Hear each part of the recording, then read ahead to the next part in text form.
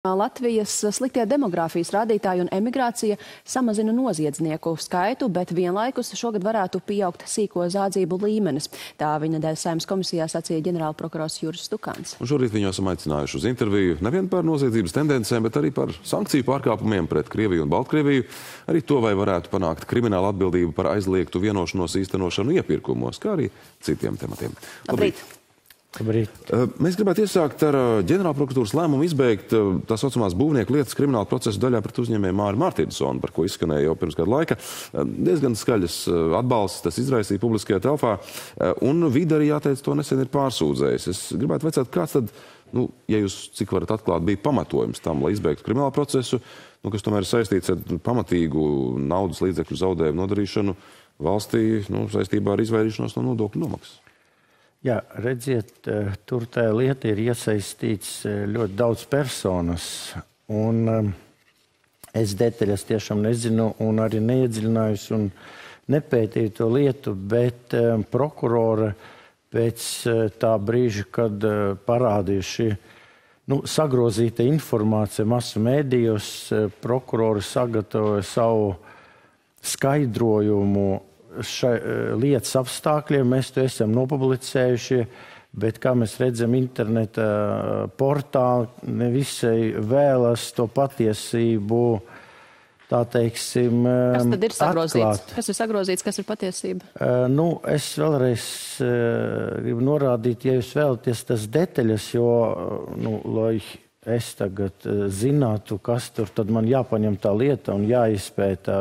Man nav tādas uh, Ne, ne, jūs vienkārši iespējas... norādat, ka medijos ir sagrozīta informācija. Jā, pati krimināla procesa izbeigšana varētu būt sagrozīta. Tā, Nē, daļā, fakts, informācija. ka izbeigts noteikta daļā, tas ir paties, un uh, prokurora attiecīgi izskaidroja, kurā daļā un kas ir izbeigts, tajā pašā laikā arī paskaidroja, kurā daļa un kas ir jau nodota lieta tiesai. Ir arī citas epizodes, kur lieta ir izmeklēta, izvirzot apsūdzības, Jo, kā es norādīju, tur nav tā kā viens, divas personas. Tur ir vairākas personas, dažādi uzņēmumi, un attiecīgi nu, tā lieta, nu, cik mēs bijām spējīgi to visu izmeklēt, izmeklējam, un tur, kur bija pamats, lietā nosūtīta uz tiesu. Nu, diez vai vidi, teiksim, paļāvās uz to, vai tur bija kaut kas eh, pamatots vai nepamatots, un tomēr šo pārsūdzību ir iesnieguši. Ir garantīja, ka visi apstākļi tiks objektīvi nu, izskatīt, izvērtēt arī šajā pārsūdzībā? Simtprocentīgi garantē, jo nevienam, neviens nav ieinteresēts eh, kaut kāda veida kaut ko nedarīt. Vēl jau vairāk eh, par to, ka Vits ir pārsūdzējis, nu, arī jāpaskatās, bet tas atkal ir ļoti normāla prakse.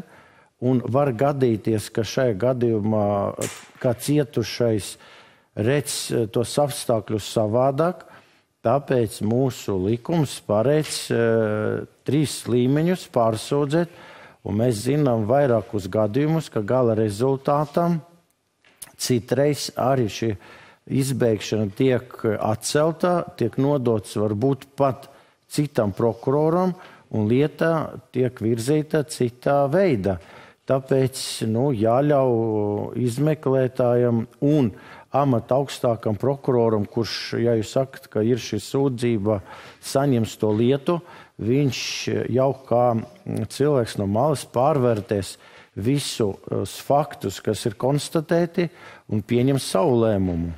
Bet, eh, nu, kā jūs norādat, eh, vienā lietā tiek skatīts vairāki procesi, vai šī vidu pārsūdzība tiks ņemta vērā, skatot šīs citas, eh, citus procesus? Skatot? Nē, nu, viennozīmīgi, jo redziet, arī pārsūdzot lēmumu tiek norādīti uz faktiem, kur varbūt vida ieskatā, viņi to traktē savādāk.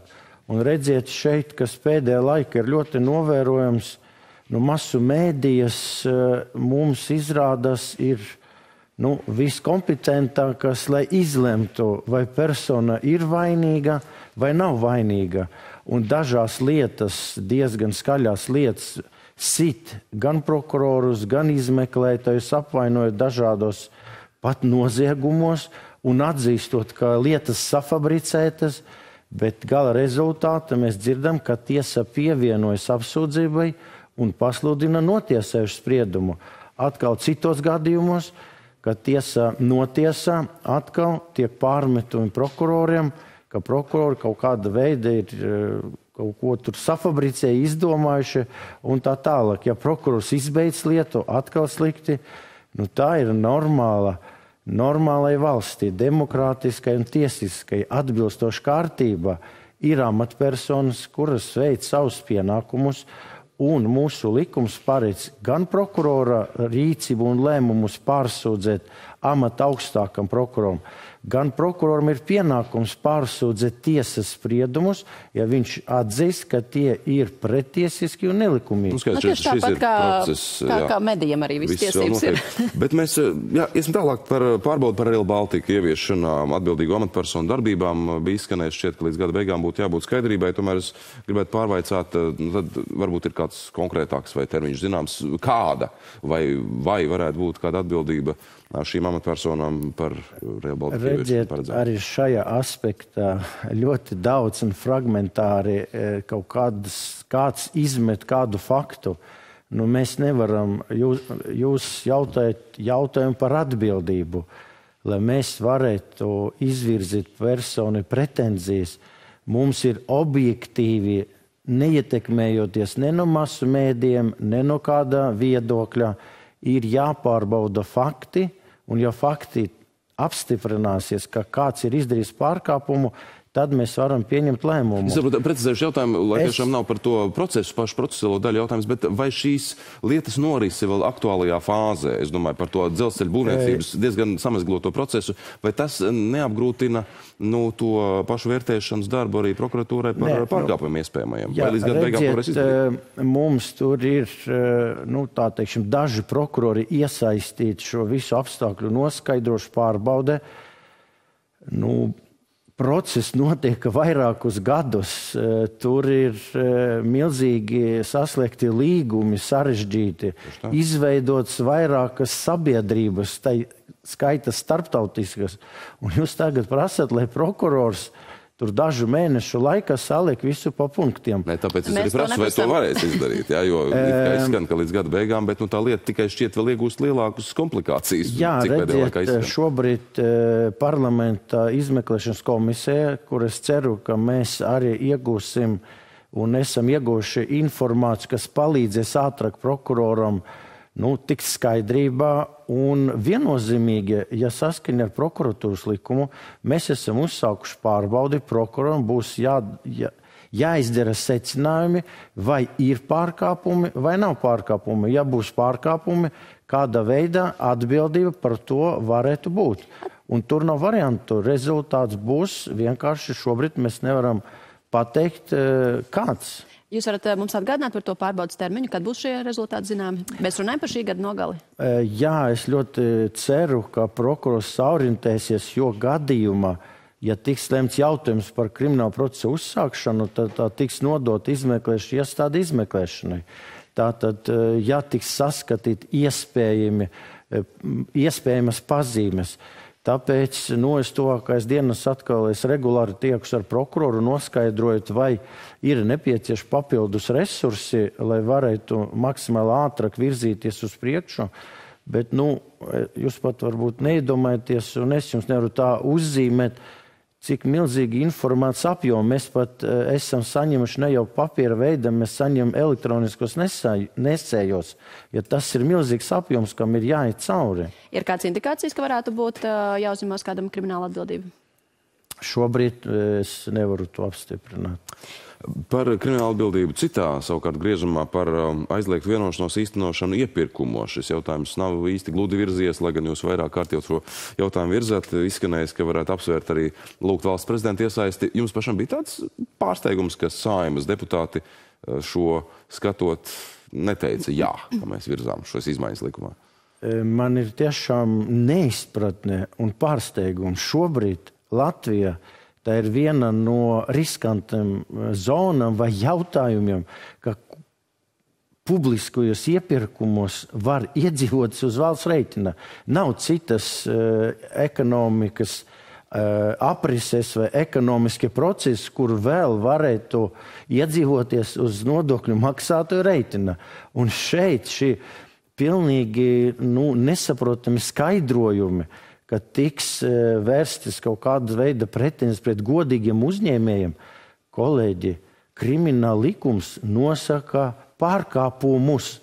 Godīgais uzņēmējs nevar būt saukts pie atbildības, ja viņš nav izdarījis pārkāpumu. Bet racionāls izskaidrojums jums ir vēlreiz, vēl viens aspekts. Nu, tie, kuri aizstāv kaut kāda veida savas intereses vai kāda cita intereses, jo vēlreiz tas ir vienīgais šobrīd lielākais apjoms, kur var iegūt valsts līdzekļus pretiesiski.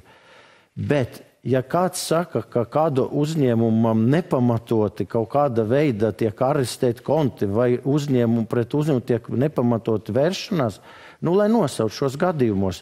Jā, varētu runāt par vienu gadījumu, bet viņš ir atklāts un personam izvirzītas apsūdzības amatpersonam, un lielākā daļa noteikta dienesta šobrīd atrodas uz tiesas apsūdzēt sola nu, filozofiski nu, apšaubīt da jebko mēs varam, bet mēs šu, redzot kriminālu lietu izmeklēšanas un tos faktus, kāda veida notiek šī sadardzināšana, un tādēļ mums aug cenas tai skaita uz pārtikai un visam pārējiem, nu, es personīgi nekādīgi loģiski nevaru saprast, kāpēc šeit, nē, nu man ir skaidrs, bet diemžēl publiski atkal es nevaru tā skaļi pateikt, jo man apvainos, ka es esmu pārkāpis nevainīgumu prezumpciju. Bet skaidrs pašam jums esot, tā jūs vismaz apgalvojat. Bet īsumā kādi soļi tad tiek spērti vai tiks vēl spērti valsts prezidentam? Nu, Esat jau kaut es ko nezinu, vaicājuši kas vēl valdībai? būtu jādara, ja ministru prezidentei ir aicinājums izvērtēt šo situāciju un valdībai vienoties un virzīt šos jautājumus. Mūsu atbalstā attiecīgi arī izteica, nu, godīgi uzņēmēji izteica arī neizpratni, kāpēc tas netiek darīts. Vēstniecības arī saka, ka citās valstīs, vairākas Eiropas valstīs, ir paredzēta krimināla atbildība. Nu, es nezinu, ko vēl izdarīt. Nu, ministru prezidentu, ja ministru kabinets arī uzskata, ka tas ir normāli, Nu, pagaidīsim, tad nu, var aicināt, un droši vien aicināšu arī prezidentu iesaistīties. Bet, ja koalīcija viennozīmīgi saka, ka viņi to nedarīs, nu, prezidents arī neko nevarēs izdarīt. Un vēl īsumā sarunu noslēdzot, kāds cits jautājums, kā norit noziegumu izmeklēšana par starptautisko sankciju pārkāpumiem pret Krieviju un, un, un Baltkrieviju, vai sadarbība ar Baltijas kolēģiem šajā um, ir nozīmīga un arī veiksmīga, kā jūs vērtētu? Nu, sadarbība mums ir, bet mums svarīgi principi viss, kas saistīts ar sankcijiem, ir saistīts ar robežas šķērsošanu, gan Baltkrievijas, gan Krievijas. Kāda veida sankciju pārkāpšana vienkārši tiek sagrozīti fakti un norādīts viens, ka īstenībā grib vai nu ievest vai aizvest citu. Un šeit mums ir ļoti veiksmīgi šobrīd muita tiek galā. Mums ir pāri pat 360, ja ne vairāk jau procesi. Skaidrs, ka šajos procesos mēs vainīgas personas nu, daļai varēsim saukt pie atbildības kādā aspektā, jo tie, kuri to organizē vai ir ieinteresēti, nu, viņi neatrodas Latvijā. Šeit ir šofers, kurš attiecīgi pārvada preci, bet e, mūsu normatīvais regulējums atļauj mums noristēt un lemt jautājumu par preci izņemšanu un attiecīgi tālāk jau nu, izmeklēšana par konkrētu personu atbildību varbūt arī vēlāk. To visu saprot tie, kuri vēlas to darīt, un es uzskatu, ka mēs ļoti veiksmīgi e, nu, globāli esam nu, pretdarbojušies šim e, procesam un lietas tiek izmeklētas, un preces netiks pāri robežai. Nu, ko no jūsu mutes dieva ausī, kā saka, paldies par interviju, ģenerālprokurors Juris Stukāns. Paldies, kā nācāt šorīt.